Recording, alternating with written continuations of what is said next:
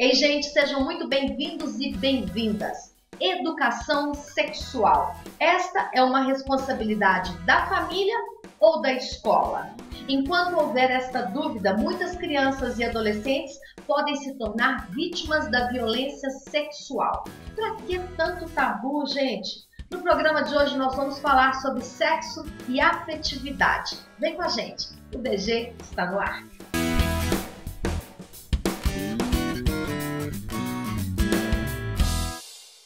A pré-adolescência e a adolescência são momentos de muitas mudanças hormonais e emocionais. Curiosidades, dúvidas, medos, inseguranças povoam a cabeça de todo mundo nesta fase da vida. Hoje em dia, a internet é fonte de pesquisa para muita coisa, mas nada substitui uma conversa franca e aberta para dar mais segurança e esclarecimento a esses jovens. No programa de hoje, nós vamos tentar fazer isso, quebrando tabus e aprendendo mais sobre educação sexual com as nossas convidadas. A doutora Helena Garrido, que é pediatra, e a Cida Lopes, que é sexóloga e educadora sexual. Sejam bem-vindas. Obrigada, querida. Obrigada, é um prazer. Gente, prazer é todo nosso. E vamos começar já com essa questão que é a polêmica: educação sexual. Esta é uma função da escola ou da família? Ó, eu acredito que é uma educação dos, das, duas, das duas instituições, né? Da família. Só que a família ela é permanente, ela é estruturante, independentemente de qual formação de família que seja, né? Se é hétero, se é homo, as nossas primárias, é, primeiras referências, elas vêm da, da convivência que a gente tem com a família. Agora, a família, normalmente, ela é homogênea. Aonde que a criança vai começar a lidar com a diversidade? É na escola. Né? Então, a escola é a segunda família, o segundo lugar onde que essa criança realmente vai começar a socializar e vai ter contato com comportamentos, valores, pessoas completamente diferentes daquela do que ela tem como porto seguro ali dentro de casa, né? E eu concordo com a, a Cida que a escola é a segunda família. Então, assim, é importantíssimo que exista um vínculo da família com a escola e vice-versa, né? que seja uma via de mão dupla, para que nós possamos, melhor ainda, ajudar nossas crianças. Então vamos falar dessas famílias. Muitas delas têm dificuldade de conversar com as crianças e adolescentes sobre sexo, sexualidade, afetividade. Qual é o tabu, gente? Olha, o tabu é a história, né, bem? Porque assim, é, a nossa educação normalmente, né, quando a gente era criança, nós não recebemos esse tipo, é muito raro, né, os pais terem falado disso e hoje a, continua a mesma história. Então, tem uma, uma questão que o sexo virou tabu quando, se a gente pega pela história, é quando a relação sexual foi vinculada à reprodução.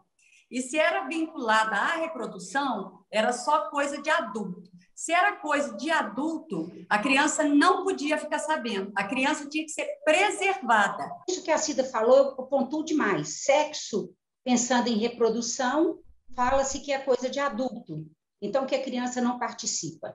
Então essa criança, né, quando que ela começa a querer participar? Como que nós, família, podemos perceber que essa criança está querendo participar, né? Nós temos que estar atentos, porque às vezes não existe uma fala verbal, mas uma fala corporal de que a criança está percebendo questões que não foram faladas para ela. Nessa coisa de falar que criança é anjo e que não pensa em sexo, não, e não tem sexualidade, isso vem de uma estrutura da, da, da história, que a gente, muitas vezes, a gente repete, né?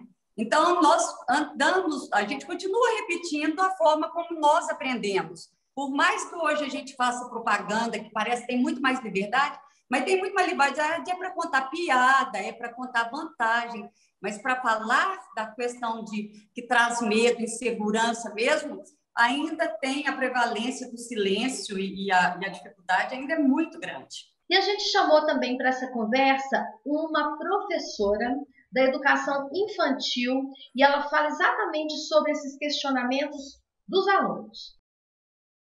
A educação sexual no ambiente escolar, eu percebo que está muito longe de atingir seus objetivos.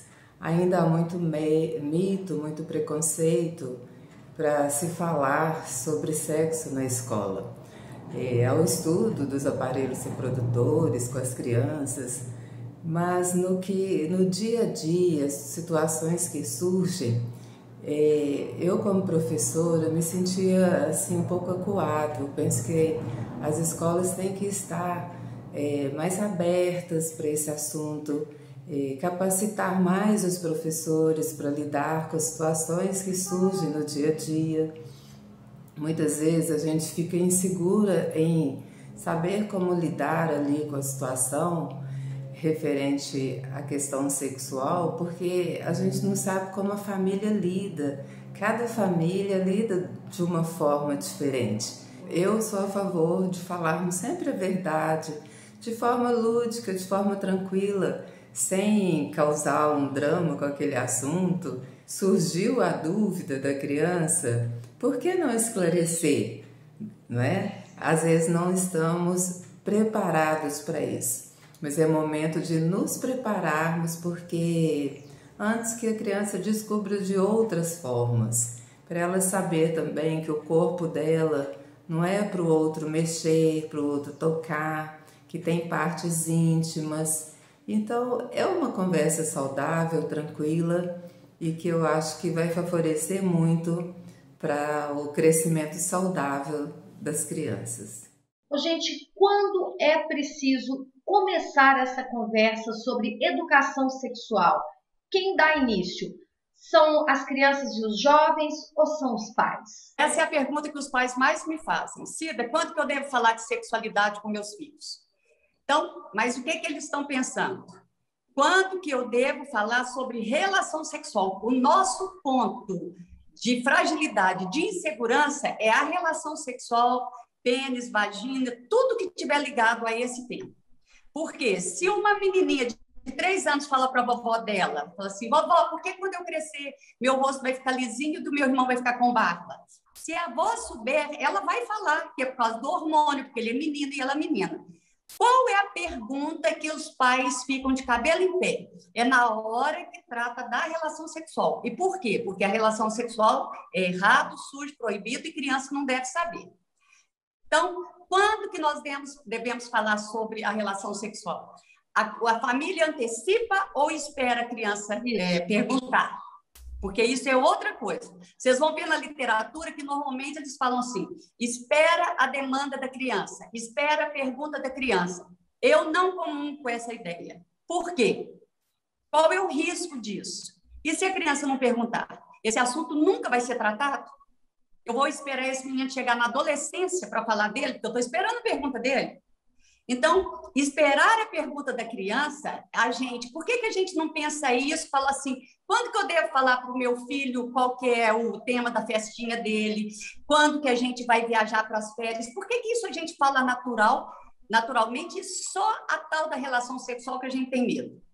Então, quando falar sobre relação sexual, gente, a relação sexual não tem que ser tema de almoço, jantar, mas se a gente construir uma história, uma visão bonita sobre a relação sexual, ela pode ser falada em qualquer época. Agora, para cada idade, tem uma forma de explicar. Eu não preciso falar para uma criança de dois, de três anos o que é penetração. Por quê? Porque quando, quando esse assunto começa a verbalizar, ser verbalizado, é quando a criança começa a aprender a falar. A criança que já fala mesmo de uma forma que, que dá conta de, de ter uma ideia, de responder, de, de criar uma historinha, é por volta de três, três anos e meio. Coincide com o quê? Com a retirada das fraldas. Ela vai perceber que tem vulva, ela menininha, o outro tem pintinho ou tem pênis, ou a mamãe está tá engravidando. Então, a criança já começa a perceber e perguntar sobre tudo que está acontecendo. A criança com dois anos, ela não tem uma expressão corporal de percepção nem de genitália. Né? A partir de três, com desfraudar, a partir de quatro, com o autoconhecimento, com a manipulação de genitália, existe uma percepção. E essa percepção, você pode até abordá-la no momento que o neném fizer xixi, ficar pegando a genitália, e fazer, falar alguma coisa sobre sexo, né? sobre aquilo que é a genitália. Porque a sexualidade implica num todo, que não é só essa questão. Então, acho muito interessante o enfoque da CIDA de que cada faixa etária tem uma expressão corporal e verbal. Muitas crianças vão chegar a perguntar à mãe de onde que ela veio, por exemplo, como que ela foi feita, isso com 5, 6 anos. Então, acho que a Cida está correta. Nós podemos falar da relação sexual com uma afetividade marcante. Quanto menor a criança, mais nós temos que colocar o afeto na nossa pergunta. O afeto é a coisa mais importante que a criança precisa saber e que para ela faz sentido. A criança ela deve acreditar que ela foi desejada, porque isso faz bem para ela, faz ela se sentir valorizada. Então, quando eu e o papai te desejamos, nós é, a gente escolheu o seu nome, fez isso, fez aquilo, e um dia nós ficamos tão abraçadinhos que o papai colocou o pênis dentro da vagina da mamãe, e depois, e aí você já pula. E aí, na hora que a gente ultrassom e você foi crescendo e a gente ficou feliz de te ver, a criança ela fica muito mais ligada a isso. Então, a relação sexual pode falar a verdade, porque nós é que temos o conceito que a relação é horrível, gente. Agora, o adolescente, em relação ao sexo, ele tem questionamentos muito mais amplos e que começam, gente, a maioria dos casos aqui na nossa sociedade, no Brasil, em torno de 11 anos. Né? Eu, como pediatra, e a Cida também deve ter experiências desse tipo, eu tenho pacientes a nível de ambulatórios é, de meninas com 12 anos grávidas. Sim. 12 anos grávidas, né, Cida? Então, com a pré-adolescência, nós temos que ter essa abordagem, independente da fala verbal deles. Nós temos que, no momento que não tem que ser na hora do almoço, do jantar, como a Cida falou, mas no momento que estivermos juntos, no momento que a gente estiver no ônibus, no momento que a gente estiver no carro levando para a escola, a gente dar um enfoque como se, ah, lembrei disso, fulano, olha aqui, aqui, aqui. E nós abordarmos essa questão da relação sexual, porque a sexualidade, ela está embutida nisso, até na percepção da própria sexualidade como pessoa, como ele ou ela. Pois é, e nós estamos em plena pandemia, crianças e adolescentes estão vendo o corpo deles modificar, muitas dúvidas aparecem, só que eles não estão tendo contato presencial com os coleguinhas e às vezes também não estão tendo na escola. E aí, como é que fica? Vamos falar sobre isso no próximo bloco.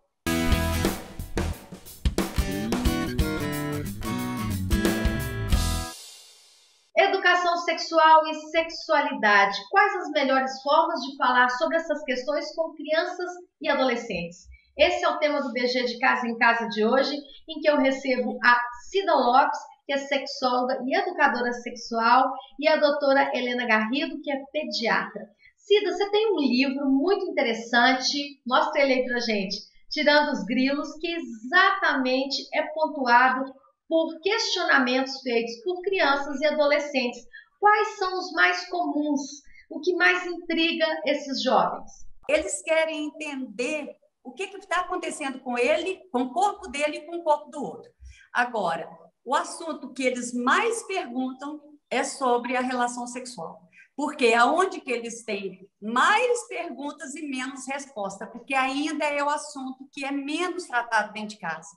E, gente, Hoje, com, com a internet, hoje não, né? Porque a internet já está aí, acabou. Então, não tem como você falar para uma criança de 10 anos ou de 9 anos, espera você chegar na adolescência. Primeiro que ela já está entrando na puberdade, né? E achar assim, não, eu vou falar com ela só na hora que ela ficar menstruada, ou só na hora que meu filho começar a ejacular, que é o marco que os pais muitas vezes falam. E aí, todas as perguntas que as crianças têm antes da menstruação e da ejaculação, fica parecendo que não precisa falar, que está antecipando. Então, Gente, com a internet, os meninos, olha, a última pesquisa está mostrando que acesso à pornografia, com esse uso de internet de aula online, está a partir de 9, 10 anos. Só da criança, gente, pequena, 7, 8, 9.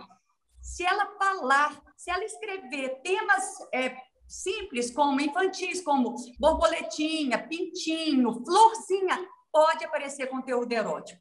Então, Quanto mais nós pais nos prepararmos para acolher esses adolescentes com toda a realidade que eles têm, com todo o acesso de informação que eles têm, com certeza nós vamos poder ajudá-los a construir um conceito bonito sobre sexualidade. E o mais importante, o nosso vínculo vai ser muito mais forte. Doutora Helena, no seu consultório, o que, que você percebe? Quem desperta mais rápido para essas questões, os meninos ou as meninas? Com certeza as meninas. As meninas, elas têm um, uma, uma puberdade antecipada em relação a dos meninos. Elas se tornam mocinhas, né? Muito antes que os meninos se tornam rapazinhos. E a pergunta mais frequente, por incrível que seja, são as alterações que vão acontecer no corpo. Doutora Helena, minha colega, ela é seis meses mais nova do que eu, mas já tem muito mais mama do que eu. A minha colega, ela é mais nova do que eu e está mais alta do que eu. Então, a, a, a, conversa inicial no meu consultório, meninas em torno de 10, 11 anos, é o que, que está acontecendo com o corpo delas. Essa questão sobre a relação sexual, no meu consultório, quando a mãe me traz por telefone, doutora Helena, eu vou levar o menino ou menina aí, mas eu estou com umas dúvidas de como abordar.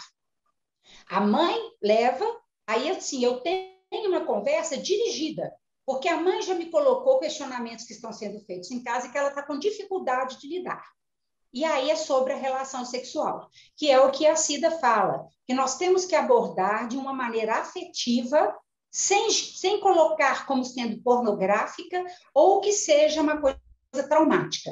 E aí que tem um ponto importante, que eu acho que as crianças estão muito precisadas, que é a falta da escola. Porque na escola, sempre, você conversa com o seu coleguinha sobre sua dúvida, aí o coleguinha fala, ah, eu consegui falar com minha mãe, ou a outra fala, ah, eu falei com minha avó, eu falei com minha tia. Então, existe, às vezes, um encorajamento na relação, na escola, de uma criança com a outra, para que ela chegue na família e consiga conversar. E nós, é aquilo que eu falei, não precisa ser na hora do almoço ou na hora do jantar. Se nós estamos percebendo alterações corporais no menino e na menina, nós podemos iniciar essa abordagem de uma maneira leve, numa conversa é, informal. Doutora Helena, a senhora falou dessa questão da dificuldade das mães né, conversarem com os filhos, e foi difícil até para a nossa produtora, Alessandra Prenassi, encontrar uma mãe que quisesse falar sobre todas essas questões e trazer para a gente para o programa. Só que a gente encontrou uma maravilhosa, que ela faz um trabalho lindo no grupo Amor de Mãe, tentando exatamente quebrar esse tabu. Eu acho que pouquíssimas mães se sentem 100% à vontade para falar sobre sexualidade né, com os filhos adolescentes. É, muitas vezes as mães ficam acanhadas, né? Sem graça, com alguns questionamentos, algumas perguntas que surgem. Mas eu acho que é preciso realmente vencer os tabus, vencer aí a, a, a essa insegurança, né? E esclarecer todas as dúvidas e tomar todas as providências necessárias, porque prevenir é sempre melhor que remediar. Né? E quando começa a surgir esse interesse, quando começam a surgir as dúvidas em relação ao tema, é que é importante mesmo a gente atuar, né, enquanto pais, enquanto educadores, é, no sentido de dar para a criança, para o adolescente, né, a, todas as respostas, né, para que a pessoa saiba, saiba que ela tem opção, que ela tem é, alguém para esclarecer as dúvidas, alguém que ela pode contar. Toda situação é uma oportunidade para educar. Então, a gente faz realmente esse apelo às mães, a gente conversa muito sobre isso no grupo. A gente faz realmente é, esse apelo às mães que é, quebrem os tabus, né, que quebrem as barreiras e que conversem abertamente sobre todos esses temas com os seus filhos. Ô, gente, a Márcia termina o depoimento dela fazendo um apelo para as mães quebrarem esse tabu e falarem sobre educação sexual com os filhos, né? Essa conversa, ela pode ser até preventiva para que não aconteça, por exemplo, até a violência sexual, pedofilia. Isso é importante demais, né, gente? Não, eu acho que a educação sexual ela é preventiva, né? Eu eu eu tô dos dois lados. Eu tô do lado da educação sexual como prevenção, fazer um trabalho para as crianças e para os pais e como sexólogo, eu pego os adultos, casais ou os adolescentes que vêm tratar disfunções sexuais de causas emocionais. Então, e de onde que vem isso, gente? Onde que vem as nossas dificuldades? É porque, com certeza, nós não tivemos uma educação positiva, adequada, que tivesse legitimado, validado o nosso desejo.